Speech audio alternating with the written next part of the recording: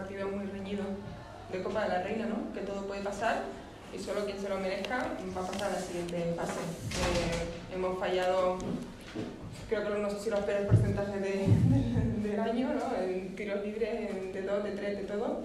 Pero bueno, con, creo que hemos ganado el rebote, creo que eso nos ha ayudado mucho y, y bueno, a mejorar y a seguir y con los pies en la tierra para, seguir trabajando y en el siguiente. Lo ha dicho Leo muy bien, tampoco quiero repetirme mucho porque lo ha explicado perfecta. Y lo único que es verdad que hemos ido siempre al ritmo de IDK, el partido ha ido al ritmo de IDK, no hemos corrido, no hemos metido contraataques. Eh, y bueno, lo, lo, que ha comentado Leo, ¿no? mucho desacierto, incluso en tiro libre, ¿no? creo que ha sido 11 de 21 y eso no es normal. Entonces, bueno, vamos a ver si esta es nuestra realidad o vamos a ir un poquito de menos a más, ¿no? Después de donde venimos, de, la paliza que llevamos desde enero y sobre todo este último playoff de Euroliga y, el equipo va, va cogiéndose a la competición, al torneo y es muy importante haberlo sacado para, para prepararnos ya para el sábado. Entonces, por ese lado estoy muy optimista.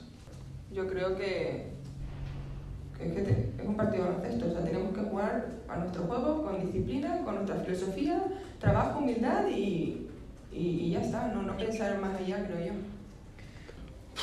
Yo no he visto ese cambio. Yo no he visto nunca al equipo con, con, el ritmo que nosotros queremos. Vuelvo a insistir que para mí todo el ritmo del partido se ha jugado al ritmo que ha querido IDK.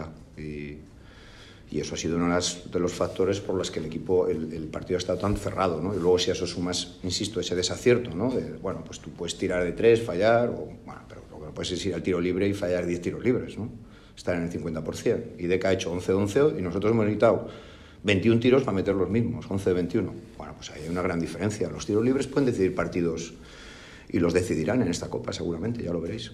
Nos has metido unas a otras un poco las dudas, incluso ya hemos empezado a no tirar. Me acuerdo de un par de tiros, uno de Fas que se la ha dado sola.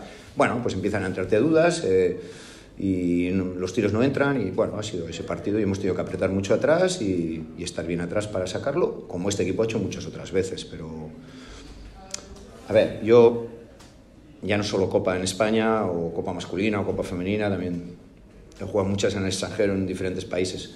He visto muchos equipos que han tenido un primer partido de sufrimiento total y la han ganado. Y, repito, estoy optimista.